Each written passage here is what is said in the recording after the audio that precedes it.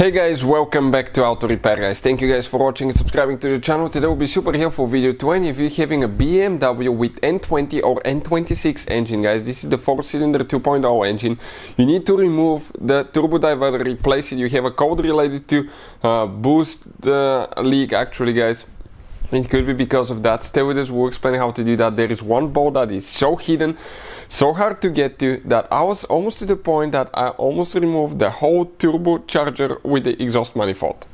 That's how mad I was at that bolt. But we found a trick that will teach you how to remove that bolt so we can actually replace that thing. Before we start, let me tell you guys a little bit about us. Let's say you need any parts tools to fix your BMW, any model guys, check out the link in the description of the video below. That's where we get all our tools and supplies from and you can save quite a bit of money. Another thing, every single car we get at the garage, we try to make at least 2 to 300 free repair videos. Why we do that guys? Because our mission at the shop is to save you as much money as we can. All we need in return, please subscribe to the channel, like the video, that way we can keep making these absolutely free videos for you. Uh, now, that should work on multiple BMWs, such as that engine has been used on BMWs.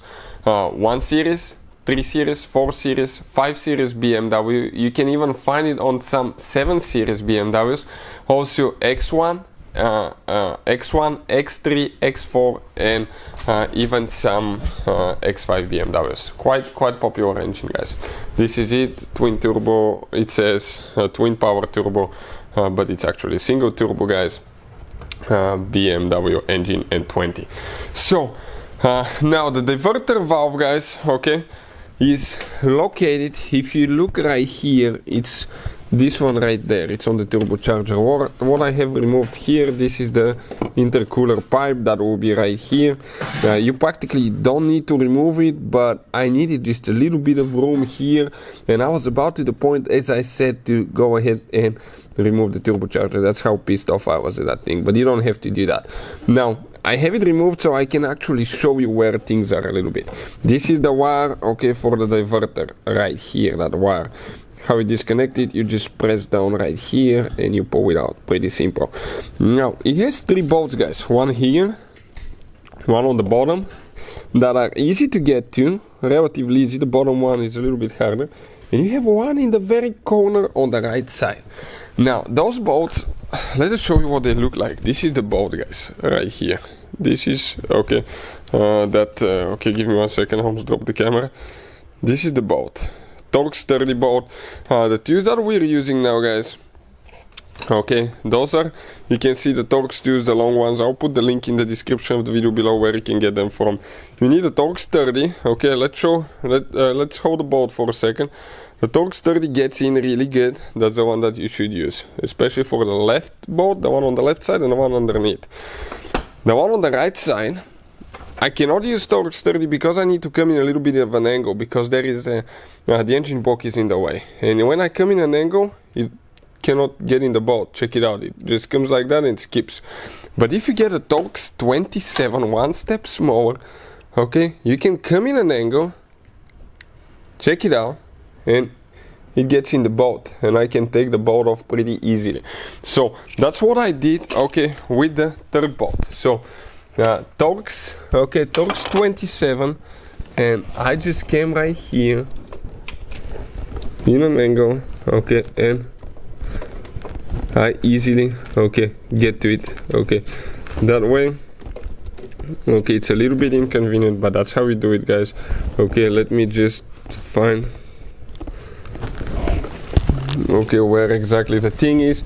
Let me get it in and we'll continue so I have it in now guys okay the two is there so I'm just removing the turbo now that I'm unscrewing uh, it's hard to show you on the camera because it's impossible to get it in there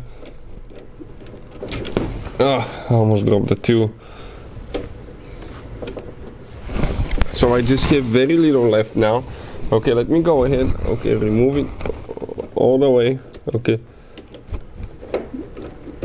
Yep, it's there. I'll try to remove it with the diverter. Careful not to drop it in the turbo if you removed any hoses or anything like that.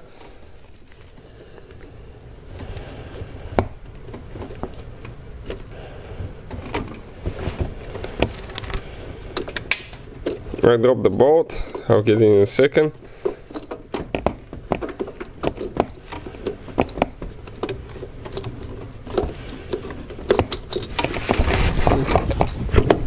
And oh no I didn't drop it right here. I thought I dropped it.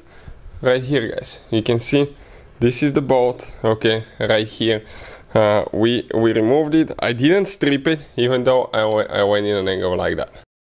So you can see that's the diverter guys on a BMW N20 engine that has been used in multiple models of BMW it has just the two wires here. Uh, if you notice that you have a code okay I, will have a special video about the code uh, but I think it was like a leak boost uh, bo boost leak or something like that. Usually you notice it if you drive in eco mode or if you uh, drive the vehicle that shifts at lower RPMs. It happens. If you drive it hard, it doesn't. It's very likely that you have a bad, okay, okay, uh, diverter right here. So that's how you guys, okay, remove it. So that's how you guys remove the diverter valve, okay? Uh, if you need to replace it on a BMW, that's a part number. I'll put a link in the description of the video below where you can get it from for a really good price, or you can get the aftermarket rebuild kit, which actually improves the performance as well. Uh, you don't have uh, turbo lag so much as well. This is uh, what I go with. Uh, it's not very expensive. I'll put the link in the description of the video below, but it's great. It's uh, the car feels really responsive between shifting gears, waiting at a traffic light. It doesn't lose boost so you're just ready to go almost all the time. That's what I like about it. Hopefully guys the video will be helpful to any of you needing that on BMW N20 or N26 engine. Thank you for watching and see you guys next time